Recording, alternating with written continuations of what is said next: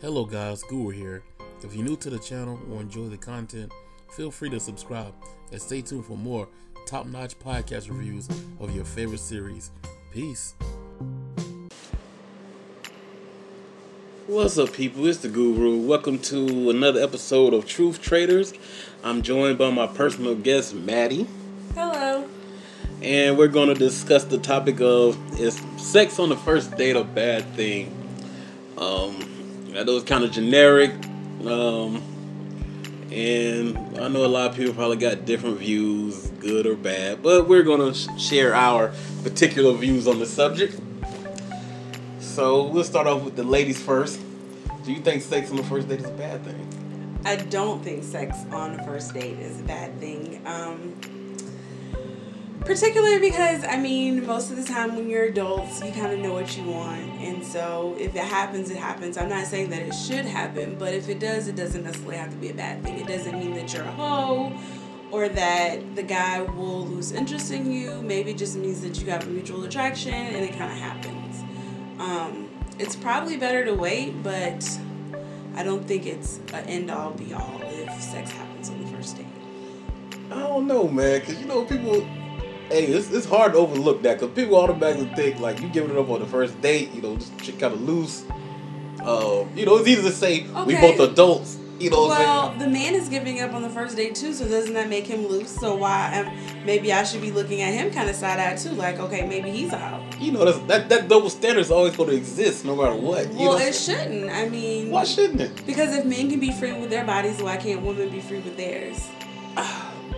It's the age of. See, that's a lot of people think. This, is about to become a topic of uh, double standards, but it's always going to be looked down upon as women doing that. I mean, it's not going to change. You know, so it's not. You know, you give it up on first date, men gonna think a certain way. Not saying it's bad, and a lot of men wouldn't think nothing was wrong with you actually giving up on the first date. But do you think that okay, this is gonna be another topic. Do you think that that type of activity makes it harder for other women that don't want to give it up on the first date, and you got these other men are used to women actually giving it up like that? Um, I think it does. It makes it harder out out there for other women that don't do that type of activity. Um, at the end of the day, though, you know, what you're not doing, someone else will, and that's kind of like the problem with dating and everything these days. It's just kind of like you have to know your worth, you have to know your standard, so and be ready to stick by it. So if having sex on the first date is great for you, then great. But if it's not, then I'm sure you'll find someone that coincides with that. I mean, life happens. You gotta kind of just move with it. But don't you think that actually helps men think like, okay, well, you know, it, it makes men downplay women a lot. Say like, okay, she ain't giving it up, she a bitch.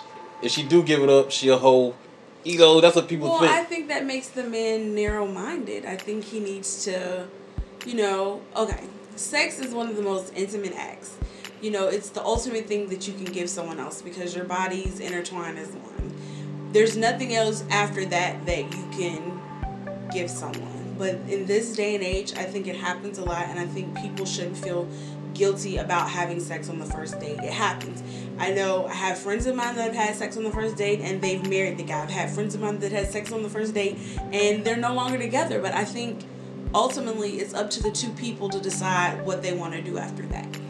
Alright. But this sex on the first date thing, you think that's the reason why there are more one night stands nowadays than there was like kind of back in the day? People used to court Well, and no, because to me, a one night stand is not a date. You don't go out on a date with a one night stand. You meet a person and you have sex, and that's kind of that's a one night stand. also, there's a difference. To me, there's a difference. Of course, there's a difference. Um, a one night stand is someone you meet in a bar or the club, and you just kind of go home with them, and then you may never talk to them again. But that could be a date too. A dude could take you out to a bar, club, and then y'all go do y'all But thing. with y'all a date, you kind of like you're not just you've gotten to know that person a little bit before you got go out on the first date.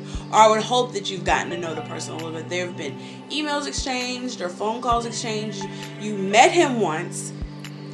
You exchanged numbers. You dialogued, and then you guys decided you were going on a date. A, a one night stand is you meet the person. They may not even know your name, and you guys have sex. So I think there's a little difference to it. I don't know. I might be liberal. I may be more open minded than most women, but I mean, I don't know. I don't think having sex on the first date makes you a hoe. No, I don't. But do you think like nowadays people are more open to having sex on the first date one night stands? Do you think that's changed the scene of dating? Because like now, a lot of times, like I said, men aren't.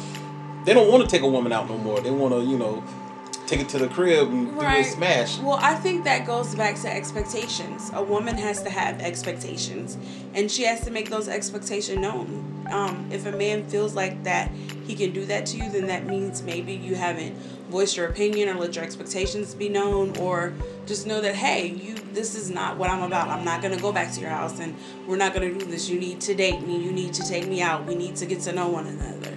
So I think it doesn't necessarily always fall on the man, it falls on the woman too.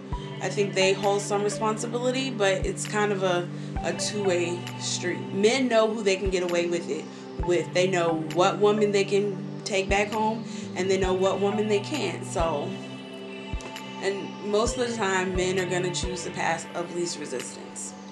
So, yeah, you're right about that. So, another thing is you think like now that women are more open like, to having sex on the first day, even though it has been done throughout history, you know, it's like nothing. I mean, prostitution is the oldest profession, yeah. so. Yeah, but the prostitution ain't really a date, man. You know, well, I guess it's a paid I mean, date. it is. I mean, I don't know. Yeah, the way is a date, but you paying for it, you know. So. Well, you just bought me dinner. I mean, then we have sex. I mean, kind of the same, isn't it? Yeah, yeah. Well. Um, that's kind of dirty, man. I expect a man to say something like that. okay. So I mean, a lot of women I think are thinking more like men now. You know what I'm saying? Like, so the same. Well, I think women have been forced to think like men because when we try to be women, it's never good enough. So then we have to kind of reverse the roles so that we don't get hurt. And it sucks and it's unfortunate, but you know, until we find the right one or two we stop being I don't want to say bitter because I don't think a lot of women are bitter. I think a lot of women are hurt and they just don't know how to deal with the hurt. Then that's what it has to be, you know. You have to be pimpettes, I guess. I don't know. You get grimy like these men are. Yeah.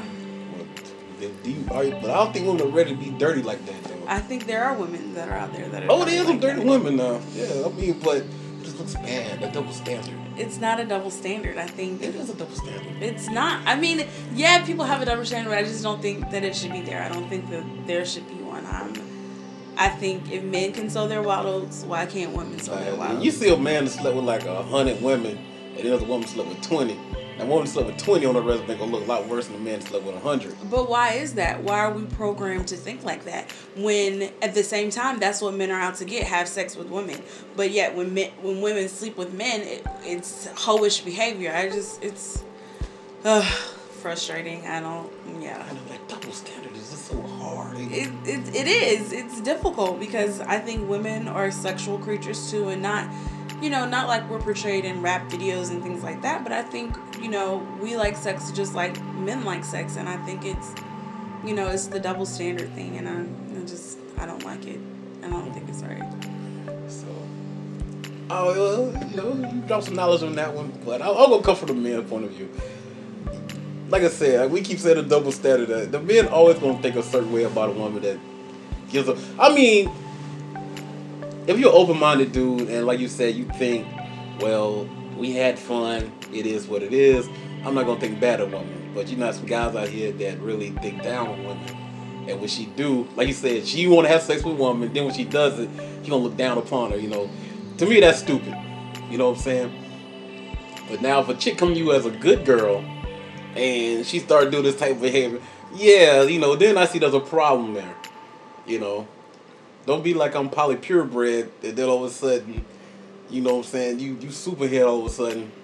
You know, but that's what men want. They want a, a lady in the streets and a freak in the bed. I mean, but that's what they want.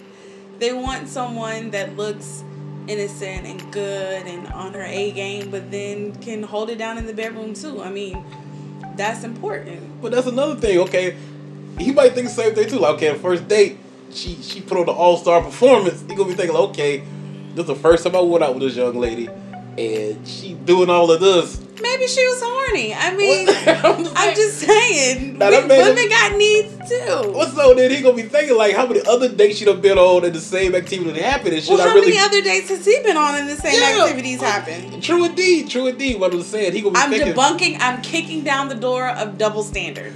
We, I hate it. It's kicked. It's gone. It's goodbye.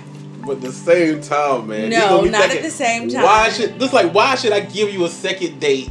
You know what I'm saying? After you done gave me a hundred percent of everything. We done we, we bam. Smash City.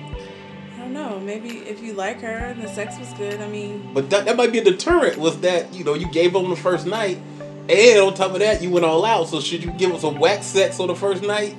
And hoping he might well, think, no. well, I think you should always put forward the best. best Uh, and then hoping like, okay, well, he might be thinking like, well, let me Um, hit it again to see if it's better. I give her another date, or you give a good performance, and he's be like, well, you know, on to the next. You know what I'm saying? You know, she freaked me.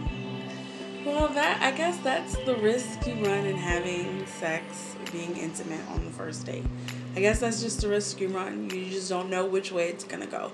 It could be a good thing. It could be a bad thing. I mean, I guess because I'm all I'm I'm all about kicking down this double standard thing. I don't see it as a bad thing if a woman is sexually expressive on the first date. I, I just don't because men are able to do it all the time with no repercussions or no backlash. But women are supposed to be prim and proper and only have sex with their husbands, and I think that's BS. I think that if men can be sexually expressive, women can be sexually expressive too, and not be seen as a whore or a loose woman or someone with no morals. I just, I, I just don't believe that. But we need a balance there, man. You know, you know the man's already sleazy, so we don't need two sleazies. So then, why don't the men just you know pump their brakes a little bit then? men ain't gonna do that, man? Well, then why do women? I don't know. That's what I'm saying. Things have changed. Women are becoming more like men, and this, that's where the collide is going. That's why there's a conflict. I don't know. I, I think. I mean, it's not going to stop, of course. You know, people gonna do it. No, it's not gonna stop. And you know what? Um, in the long run, if you like someone and they make you happy, and it shouldn't matter. Mm. It shouldn't matter. So to you, sex on the first date is not a bad thing. No, sex on the first date is not a bad thing. Just take the risk. Go for it. Jump, jump right in, both feet. All right. So if anybody want to date Maddie, have at it.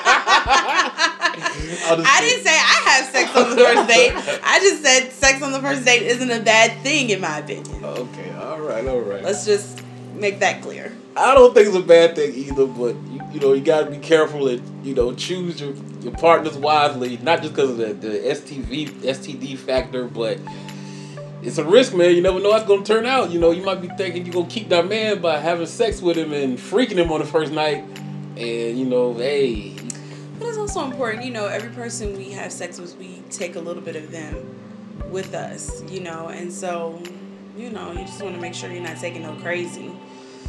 yeah, or, or that bitterness, Yeah, you know. that so- damage, I hate. Well, I don't think women are bitter. I will say that I think that some are hurt, and they just don't know how to deal with the hurt. But I don't think women are bitter. I don't think sex on first date's gonna help that. It may, you never know, it may loosen them up. Oh, they're gonna loosen up, though. So. Just saying. Yeah, I understand. All right, man. I think we done butchered this to death. You got any final words or anything else to say, Miss Maddie? Um, I guess I would say love you. If you want to have sex on the first date, go for it. If you don't, then don't. But just be comfortable with uh, whatever your decision is and let it be your decision. Oh, I'm gonna say, ladies, be a lady. Don't do it. too many wolves out there. Too many wolves and dogs out there. that just want to get your cookie, you know. And once you give it up, man, they don't care no more. I was kidding, but I, I agree with her, man. You you know, but I would rather say, in the interest of your uh, what do I say, public opinion, and you want to look good. If you if you care about people's opinion of you, I think you should wait a couple of dates. I'm not giving no little time limit like uh, that bull BS uh, Steve Harvey be doing, but get to know a person a little bit, you know, before you spread your legs. Even if you're horny, but you know, if you got to get your rocks off, hey, just be careful who you choose to get your rocks off with, you know, and um, and don't think sex is gonna keep a man, cause that's it really doesn't really work like that. So it depends on. It also depends on what you uh trying to do.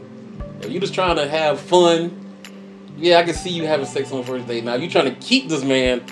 I don't think that's a good idea to have sex with him on the first date. And I'm not trying to say make him wait, but you kind of gotta evaluate that situation because like sex on first date ain't always gonna keep somebody with you or keep them interested because somebody just about everybody but neither is sex on the 50th date Yeah. like if you wait to the 50th date it's not necessarily gonna keep that person with you i mean there's no right time when you feel comfortable having sex with someone that's when you should have sex with them whether it be the first date or the 50th date it's when you feel comfortable with it and even if you do have sex with them there's no guarantee that it's gonna keep that person most people ain't comfortable on the first date. Let's go ahead. I'm gonna get butt naked and get nasty. You know, already. You said we just met at the bar. I'm just saying we just met. why not i mean if that's how you feel that's how you feel i mean Go ahead, man. I ain't woman. Hear me roar. All right, that's the guru, and maddie and we'll see you later. Peace. bye